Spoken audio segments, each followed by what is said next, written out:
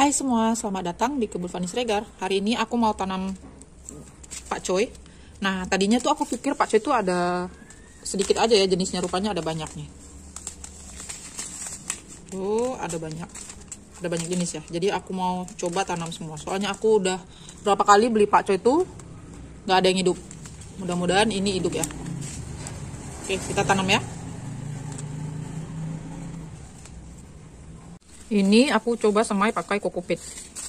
Nah, kita semai yang dua pakcoy four season ya. Dua pakcoy four season. Mudah-mudahan hidup. Aku semainya nggak terlalu banyak ya. Ini banyak juga sih benihnya. Hmm.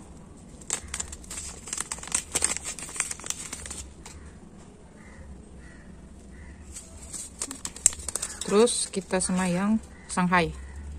Shanghai, pakcoy Shanghai.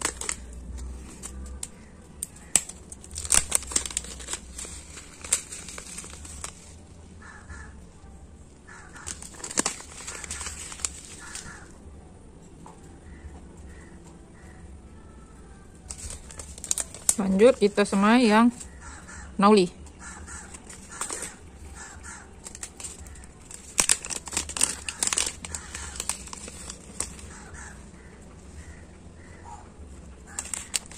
Aku pikir pak coy itu ada satu jenis ya? Ternyata dia banyak. Tuh dari berkebun jadi tahu macam-macam sayuran.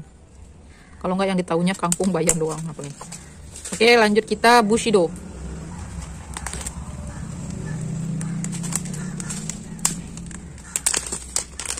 mudah-mudahan ada yang tumbuh ya. Sejarah banget nih rumah aku tuh pakcoy hijau tuh nggak ada. Padahal itu sayur yang paling apa ya mudah ditanam. Tuh nih kinka. Oh ini agak susah.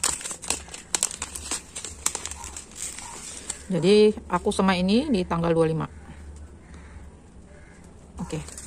Setelah itu kita tutup. Ah, kukupit nih kukupit tutup tipis-tipis saja hmm. sebenarnya kalau mau bagus pakai petmos juga boleh ya kalau mau semai. Tanah semayan yang paling bagus loh petmos ke kokopit soalnya aku semai pakai tanah dia nggak mau tumbuh. Jadi aku coba pakai kokopit mudah-mudahan tumbuh. Kalau nggak tumbuh juga ya aduh nggak tahu deh.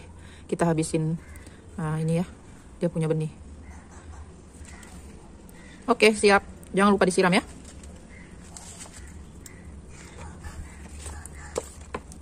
Nah, ini aku videonya sambung lagi ya, guys. Soalnya tadi tuh hujan ya. Masih mau buat konten malah hujan dia. Nah, ini aku sekarang mau metik si kangkung ini. Kangkungnya udah bisa dipetik ya. Udah ketuaan kangkungnya nih, terlalu panjang.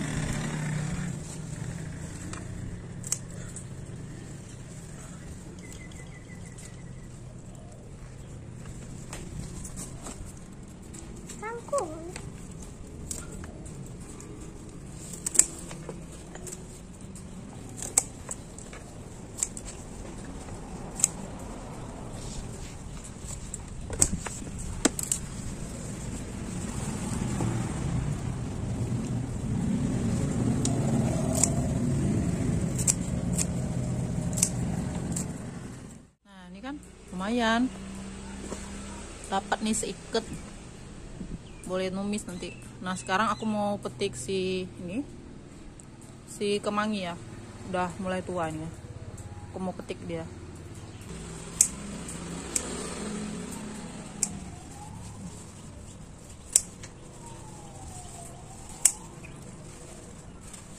Enak ini nyambel. Dibuat nyambel ya. Jadi ayam woku. Tuh enak banget ini dapatnya segini. Tuh. Aku mau petik si ini ulam raja. Si kenikir ya di kebun depan. Oke jom.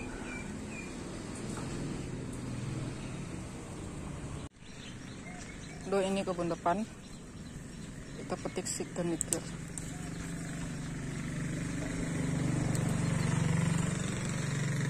Ya biasa ya rumahnya kalau dekat tepi jalan ya agak bising Oke, kita letak ke sini. Ini Aku ada semai Thailand ya, tumbuh di sini. Biarin dulu. Ini kita punya asparagus loh. Nih ada asparagusnya. Aku mau ambil aja nih. Tuh. Lumayan gede. Ini yang kecil, aku ambil juga. Ada asparagus lumayan. Ini terung yang sini udah mulai keluar bunga sama buah. Ini cabenya juga. Yang bagian situ ada uh, apa ya namanya uh, daun kesum. Udah mulai tumbuh subur ya. Ini udah aku banyak ubah di sini.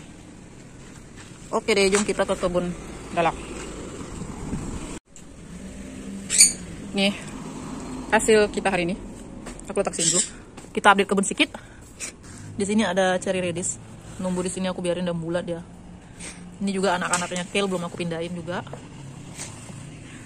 Nah, ini perkembangan uh, apa sawi pahitnya. Udah mulai gede ya, udah lepas pindah ya. yang ini aku belum mau panen. Kayaknya udah mau tua gitu ya. Ini lu sayang banget. Nanti mau dipanen deh. Esok.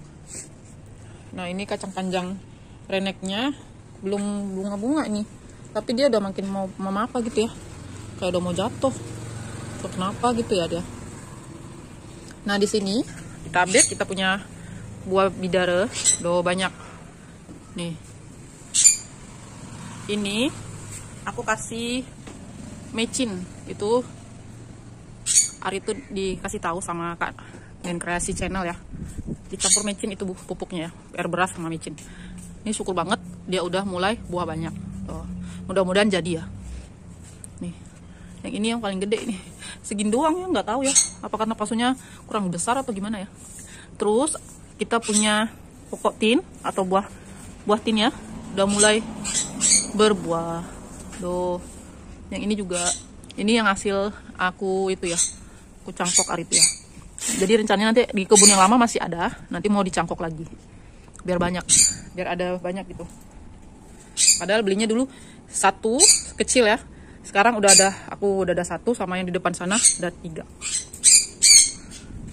Terus di sini bayam-bayamnya masih ada ini buncis. Nah untuk kabar si melon aku itu dia nggak bertahan ya guys. Soalnya musim hujan terus aku lihat kenapa dia kok mati rupanya akarnya itu busuk jadi nggak ada. Jadi kita nggak berhasil tanam melon. Cuma waktu itu kan dia udah, udah lumayan besar ya. Terus aku rasain tuh rasanya kayak timun.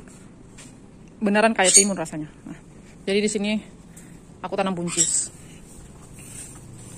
Oh ini aku udah banyak pindah-pindahin tempatnya si bagian ya ini. Soalnya kadang kurang cukup ya yang bendi juga di depan nanti aku udah beresin ya sedikit ya Oke deh guys, ini tadi hasil petik-petik kita. Ada ulam raja atau kenikir, terus ada si kemangi, terus ada kangkung, ada dua biji ini. Si asparagus purple. Oke, lumayan ya. Apa-apa daripada nggak di ini, nggak di tuai di sana kasihan. Kita ambil aja. Enak kan kalau kita uh, berkebun di rumah ya. Walaupun aku tuh uh, tempatnya nggak ada luas ya, nggak ada lahan tanah tanah gitu banyak ya. Tapi aku usahain di pot ini aku tanam gitu. Ya lumayan ya. Ya buat ngisi waktu luang juga sih. Namanya juga ibu rumah tangga yang gak ada kerja. Ke kerja di rumah nanti udah beres udah bingung mau ngapain ya. Jadi kita healingnya kebanyakan di sini. Jadi lumayan juga boleh untuk uh, masak. Oke deh guys. Sampai di sini dulu video aku kali ini. Terima kasih buat kalian yang selalu support channel aku yang selalu nonton sampai habis yang selalu gercep ya. Aduh terima kasih banyak-banyak yang selalu gercep itu eh, nonton ya aku juga minta maaf kalau nggak tak bisa segercep kalian gitu ya minta maaf banget. Soalnya itu ada kesibukan yang lain ya. Jadi aku sempet sempetnya itu nontonnya itu cuma malam gitu malam doang gitu ya. Terima kasih banyak-banyak buat kalian ya. Uh, oke deh sampai di sini aja dulu video aku kali ini dan sampai jumpa di video berkebun kita selanjutnya. Bye bye